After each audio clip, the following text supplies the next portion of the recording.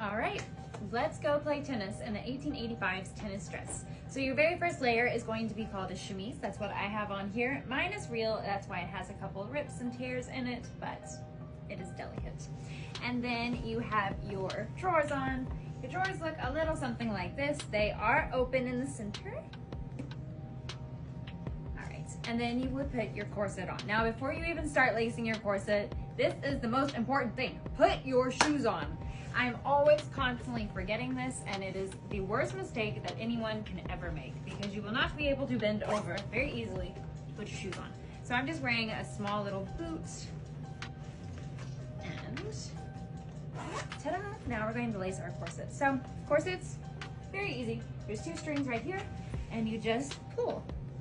Now you have to just constantly keep adjusting them, but your corset should never be uncomfortable to the point where you cannot breathe now the next layer is called a corset cover. Corset cover looks something like this. It is literally, as the name implies, it's going to cover your corset. It will protect your clothing, your undergarments. Um, I like to wear them because oftentimes I have a pink corset that I like to wear or I like to put different decorations all over my corsets and I don't want you to be able to see that. So this is a real corset cover. So once you have your corset cover on, looks a little something like this the lobster tail bustle. If you were wondering, yes, it does look like a giant lobster's tail. These are pretty easy to wear. This was one of my first times actually making this and it was so easy and it's so much fun to wear. I imagine that women in this time period literally just went around just looping their bustle the entire time. But this is what it looks like from the side, from the front, and from the back. So obviously what's going to go next is going to be your petticoat. And petticoats are easy, pretty lightweight. Everything that I'm wearing is cotton. It is extremely, extremely hot today. And I don't want to overheat while playing outside. So this is what my petticoat looks like over my bustle. The swoosh factor is a 10 out of 10. Let me show you. I love it. So my next skirt that I'm going to go put on right now, it's really interesting. They have internal ties, so it looks something like this, and you would tie your skirt up over your bustle, and that's what makes that little pleat in the back. Mine is a cotton eyelet, really lightweight, easy to move around in. I'm not going to overheat, and it just looks really elegant. And I base this off of the tennis gown that's in the Victoria and Albert collection. Hop to get that settled.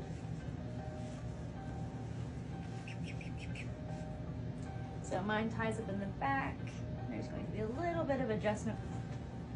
Next comes your swag. And I mean, these swags apron, they come in every single shape, size, color. You can mix and match them, do whatever you want. I wanted to keep mine all white and it is made of the same type of fabric. Now again, they have little adjustable pleats and ties so I can control how much floof I get in the back. If I want more floof, I can do that. These are the strings right here and they just tie up underneath and they pull the apron swoosh to the side. This is what the swag looks like. And let me fix that pleat in the back. There we go. Again, the swoosh, 10 10. And then this is what your bodice looks like. Lightly boned, very easy to wear, lightweight, only two layers of fabric. I have a eyelet cotton and just a very lightweight cotton lining it. Tuck all that in. This is what the bodice looks like when it is finished. Now, of course, I am extra and it is tennis. So I have this little antique tennis brooch that I think is really delightful and I'm going to attempt to pin that in my neck without stabbing myself. And then my hat, really cute, really delicate, but it just goes on at a little angle like this. And you wore things called hat pins. The hat pin literally pins through the hat, through your hair, and out the other side. And it keeps it on in case of wind. Sometimes in 1880s, they had these little stylish bonnets that were like half hats and they barely stayed on. So that is just what that looks like, something like this. Really delicate, really cute, really, really fun. And of course, no outfit is complete without a pair of gloves.